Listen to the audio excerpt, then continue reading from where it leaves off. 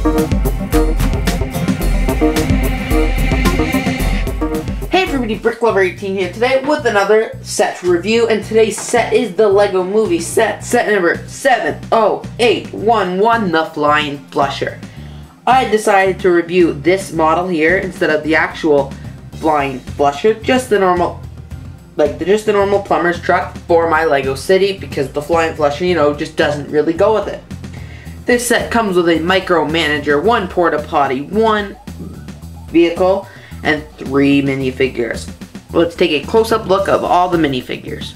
First minifigure we have here is Plumber Joe. He has the Joe logo on his shirt, and I'm guessing he is the owner because his name is Joe, but maybe not. Maybe it's just a coincidence. He has his coveralls on the shirt here, along with like a little neck, so he's wearing a sweater underneath. The coveralls look like they continue down to the pants with printing. No printing on the sides, but continued printing on the back. He's wearing a blue ball cap and he's got a cool little Plumber Joe face, I guess you'd call it. Here are close-ups on all the prints, just so you can see. Let's take a look at the next minifigure now. The next minifigure here is Alfie the Apprentice. He is wearing the same clothing as Joe, but his head is different. He's got a smile on his face, very similar to my Sig Fig head, but a nice smile on his face. And then the I don't even know what color you call it, the light brown maybe, head on. And again, same printing, same everything as the actual Plumber Joe. So, no use talking too much about this minifigure because it's pretty much all the same. The next minifigure here is Dr. McScrubs, which is a very ironic name. He's wearing the doctor's uniform with a name badge and some wrinkles in his lab coat goes all the way down and he does have back printing continuing on his lab coat. Very cool hair actually. I've only seen this piece in black before. So very cool and he actually does have a double-sided face. So I'll take his hair off so you can actually see the double-sided face. He's got like a chill and relaxed face and this face is actually so close to my Sig Fig face. If it didn't have that little thing, it guarantee would be my Sig Fig face. So that's very cool. I really like this torso of him. Now let's take a look at the rest of the set. Now that you've seen the minifigures, let's take a look at the porta potty. Very cool looking porta potty here. It has these like wing pieces on all three sides, or three, three of the four sides, as well as some tiles just to add some detail. Looks like a pretty cool porta potty. Here's the door.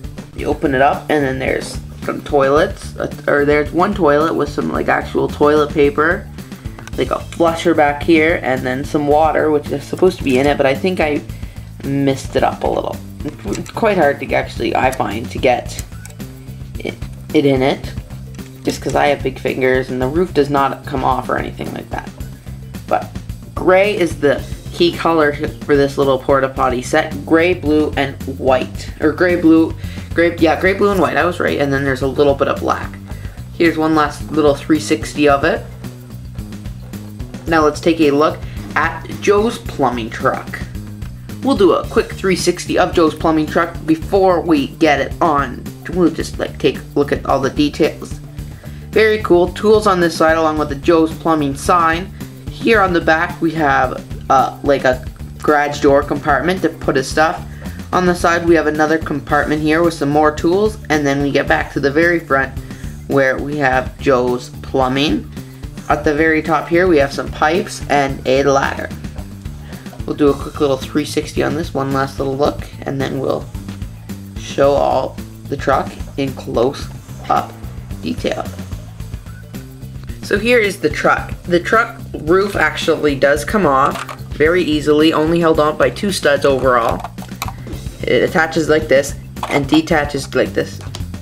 Here's what the inside of the truck looks like. At the very back here we have two plungers and in the middle I guess I don't really know what this is. It almost it kind of looks like a motor but it, I don't think it's meant to come out because it just it doesn't look like I just I don't really know what that is supposed to be but the plungers they do come out fairly easily if you do try and they're just they're, I don't even know what these this piece is but it's a very cool piece and you get two plungers in the set the garage door at the back to get the plungers out, and then the garage door here to get whatever that is out. And you have room for one driver in here, but you can definitely fit the second plumber minifigure in it if you like One stands at the back here, and then one drives. So that's, you could fit both in that way. Other than that, could not fit them both in. It's like meant for one. Here on the side we have this really cool Octan's Joe plumbing service with some tools on this side as well as some tools on this side. Yeah, tools on this side. And I guess it, this uh, could give you the option of putting a minifigure actually on the side here and riding along. That it drop the hat. Like bricks are breaking everything. That is an option, but because there's no bottom treads, I don't believe that's what it's meant to be. This truck does keep with the scale of red or gray, blue, white, and a little bit of black for accents, like the porta potty. They're very matching. Lots of stickers on this truck. The license plate. Joe's Plumbing, I honestly think, should have been backwards because, like, if you're reading in a rear, rear view mirror, it's frontwards. I think that's how that works. I don't even know. But very cool. Pretty standard wheels are used on this set. Not much, not much to say about it. Let's take a look at the micromanager now. So here's the micromanager, and before I'm going to talk about what this little black piece is the back, right after I do the quick 360 on it.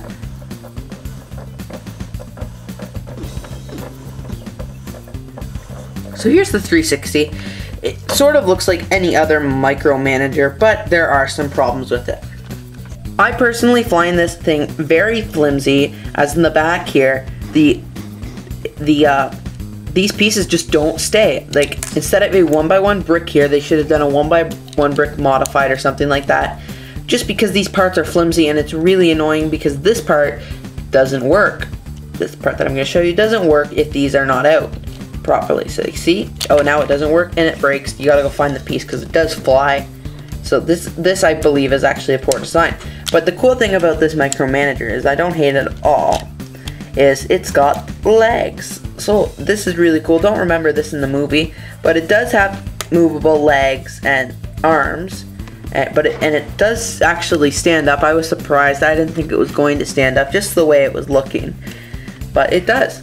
So on top of all that, it's a see. Look at it. It just broke again, just because. Just at moving it moves those pieces, causing it to go off kilter just the slightest bit, and then to be destroyed. And it's annoying. But here are the arms here. They're also very flimsy. Little shooters here. They don't shoot very far though. Just a little, just a little off screen. You can shoot it towards the camera. But they don't work very well. Last micromanager I reviewed was a very, very cool one. But this, it does keep to basically the look of all the other micromanagers. The instructions for this set are fairly simple. We have book one for the flying, actual flying flusher, and I believe this is yeah, this is for the micromanager. Whoops, I dropped one manual. This one is actually for the flying flusher, book two, and book number three is for the truck, which I have made the truck because the truck is going is more the truck is more realistic for a city instead of a like a flying micromanager. This is a pretty very cool set actually, not a pretty cool, it's a very cool set. Perfect for any city because Lego's never made in the like a fire truck in the city or the, not a fire truck, a plumbing truck in the city line.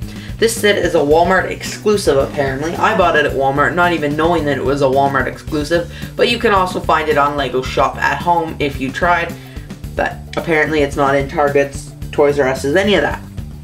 Thanks a lot for watching this review of set number, sorry I have something on the box, 70811, the Flying Flusher. This set has three minifigures, one vehicle, one porta potty, one micromanager, and 351 pieces. Let me know in the comments below what you thought of this video and don't forget to like this video, share this video with your friends, and of course subscribe. Don't forget, you can also answer today's video question in the comments below.